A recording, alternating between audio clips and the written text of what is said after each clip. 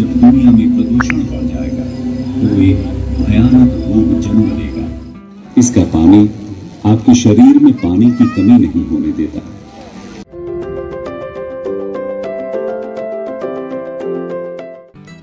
सो so guys आज मैं आपके लिए लेकर आई हूँ एक बहुत ही डिफरेंट ब्लॉग सो एंड तक आप वीडियो ज़रूर देखिए।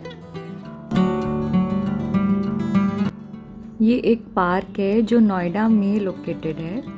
तो आगे चलते हैं और बताती हूँ मैं आपको कि यहाँ पे क्या क्या है। सो so, कार हमने यहाँ पार्क कर दी है और अब हम अंदर जा रहे हैं पार्क में।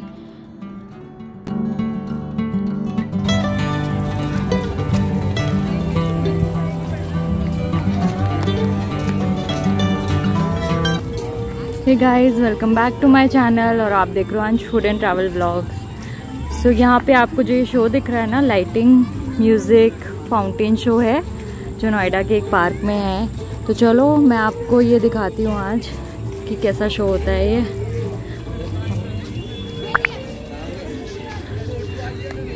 और हमने सुना है कि बहुत ही अच्छा शो होता है यहाँ पे, म्यूज़िकल फाउंटेन का। तो चलो, आपको आज दिखाते हैं पूरा शो।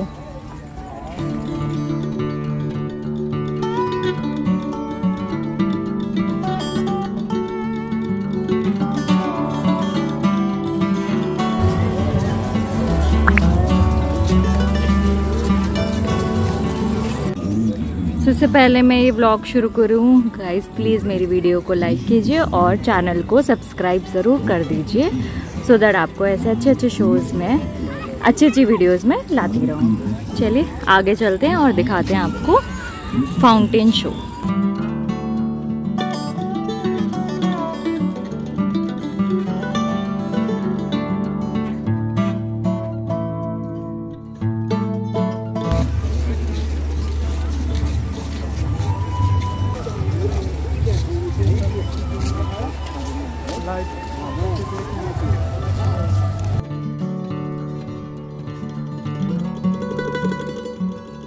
so so guys मैं आपको इस पार्क की इन्फॉर्मेशन दे देती हूँ। ये है नोएडा का music and sound medicinal park और ये है सेक्टर 91 नोएडा में। तो अगर आप आना चाहते हैं तो आप ज़रूर आइए यहाँ पे। काफ़ी अच्छा शो होता है यहाँ पे। और ये पार्क है प्लस इसकी फ्री एंट्री है सो यहाँ पे कोई भी आ सकता है। और पार्किंग भी पार्क के अंदर ही है। तो पार्किंग भी अंदर की प्रेमिसेस में ही है। तो आप देख सकते हो यहाँ पे तो बहुत ज़्यादा रश है। सो so, काफ़ी लोग आते हैं इस शो को एंजॉय करने के लिए शाम के टाइम पे।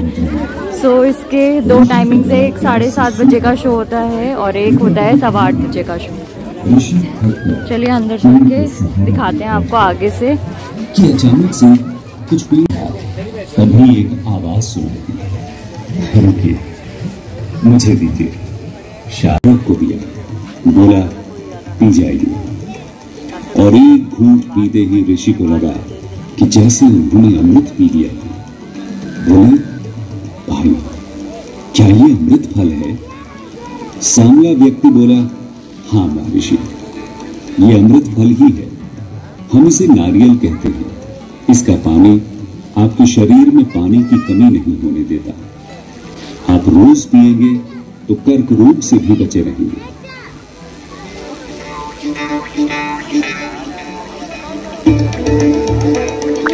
day.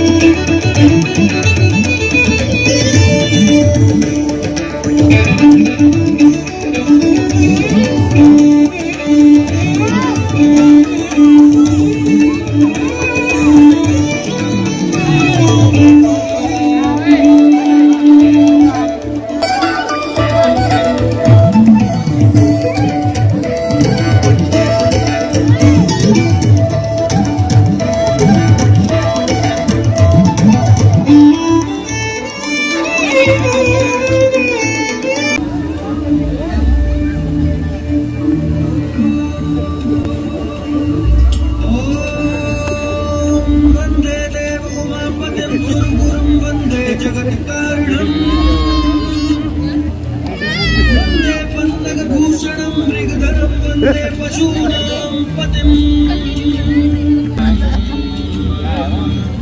वंदे भक्तजनाश्रयं शवरदं वंदे शिवं शङ्करम्।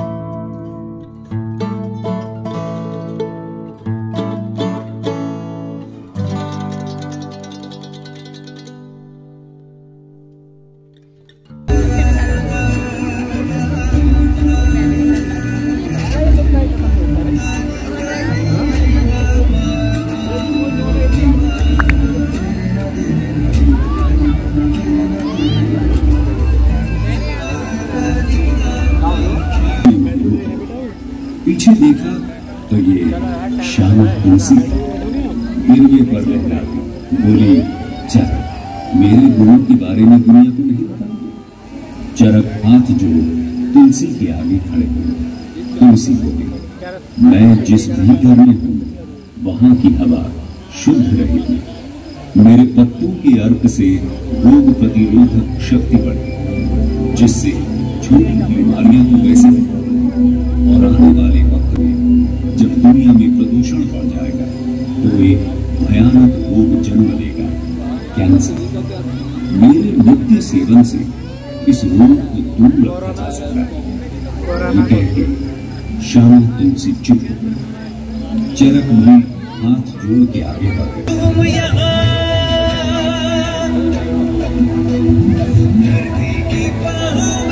कितनी औषधियाँ।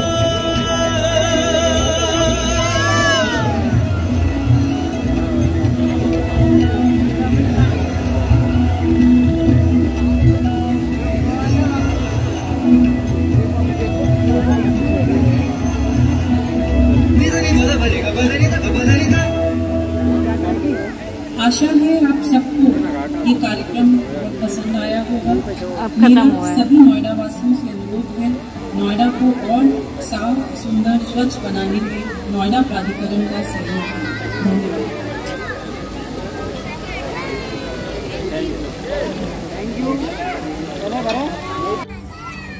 गाइस सो आपने देखा अभी शो सो so, मैं ये बता दूँ एक्चुअली ये है एक मेडिसिनल पार्क जिसकी वजह से जो यहाँ पे शो था वो काफ़ी ज़्यादा आयुर्वेद से रिलेटेड था। सो आपकी जो बॉडी में बीमारियाँ होती हैं और चीज़ें होती हैं तो उसके आयुर्वेदिक ट्रीटमेंट की से रिलेटेड था। सो गाइस आई होप आपको ये शो अच्छा लगा हो और आपको मेरा ब्लॉग भी अच्छा लगा हो। तो प्लीज़ आप मेरे चैनल को सब्सक्राइब कीजिए and hit the bell icon thank you